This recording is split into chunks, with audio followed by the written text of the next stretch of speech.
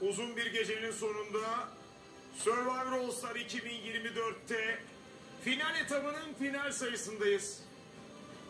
Dört dörtlük eşitlik var sevgili seyirciler. Kazanan Survivor'da kalır.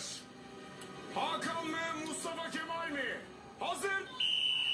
Final sayısı All Star'da başladı. Sadece bir sayı. Son sayı kimin olacak? Mustafa Kemal çok hızlı. Hakan çok hızlı.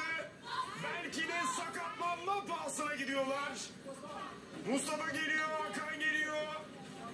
Merakla bekliyoruz bu atışları. Kim kazanacak?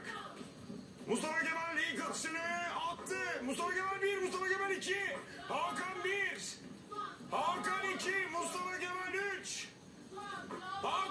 3'e 3'ler. Hakan 4. Mustafa Gül.